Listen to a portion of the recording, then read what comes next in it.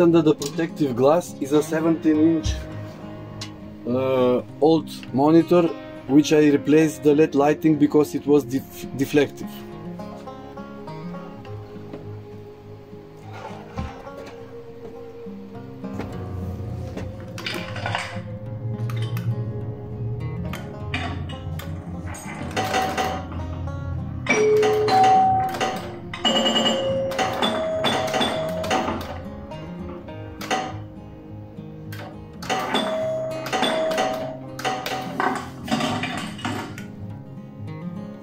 Project is sponsored by PCBWay.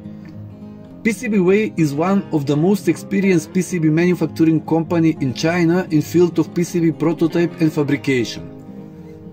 They provide completed PCB assembly service with worldwide free shipping and ISO 9001 quality control system.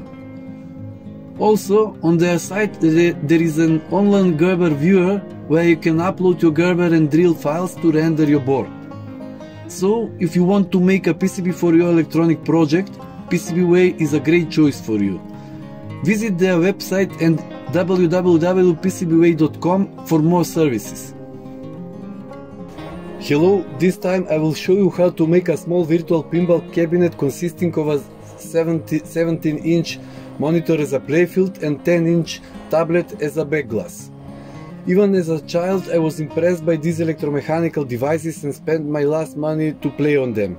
I accidentally came across a video explaining how to make how to make such a device but with the help of a monitors instead of mechanical parts.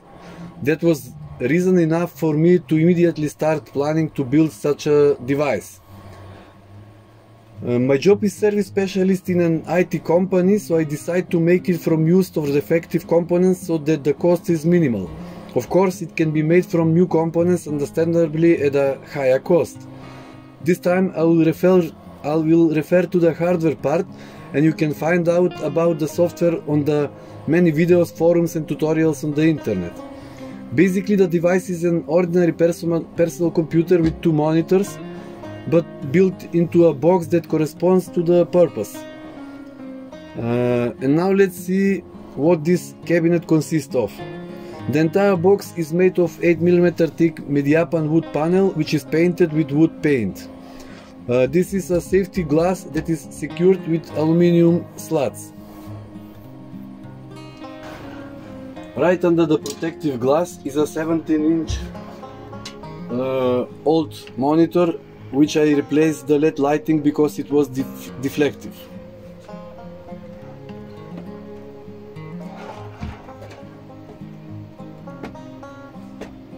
The motherboard together with the processor and RAM memory was taken from my previous PC which started very hard only in a heated room and the reason for that was capacitors with reduced capacity on the motherboard so after I replaced them with new ones everything is okay.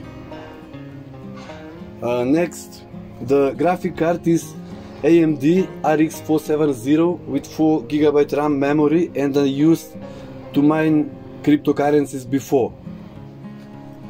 Uh, the SSD drive uh, is also from my old PC, but it had a problem that sometimes it did, didn't work and it didn't show up in the BIOS at all. I slowed this by heating it in the oven from 10 minutes at a temperature of 250 degrees and now it works great. Uh, now here is an interesting idea how to make the button control. Uh, instead, uh, instead of ex expensive specialized board for this purpose, I use a simple cheap USB joystick. uh, that cost only that cost me only five dollars. This is uh, this is his board, and in the places where the the contacts from the joysticks pressed, I connected the arcade buttons that are easily configured in the control panel uh, in the operating system and also in the pinball emulators.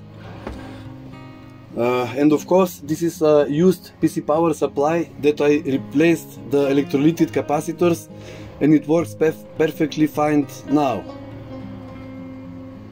Uh, due to the compactness and proportionality of the whole device, instead a classic back glass monitor, uh, I used my very old 10 inch quad tablet which worked very slow but for this purpose uh, it turned out to be excellent.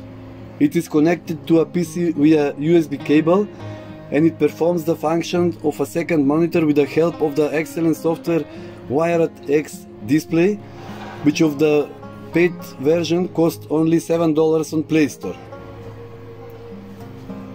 Uh, here I have a small mechanical tilt switch that is also connected to the controller to perform this function. Uh, I also connected a small button in parallel with the tight tilt switch which is located close to the flipper button so it can also move the board with did that is tilt, mechanical tilt. The sound is obtained is obtained through this small uh, uh, D-class audio amplifier connected to a 3 watt speaker and the potentiometer serves to volume uh, regulation. Uh, buttons are robust, mechanically very resistant and contain a switch that is easily replaceable.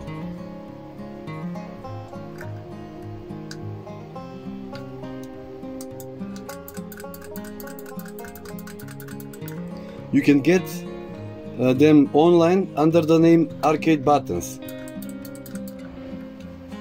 On the back there is a USB hub, power connector, as well as, as several buttons with various useful useful functions like uh, power on, reset, tab tablet power, etc.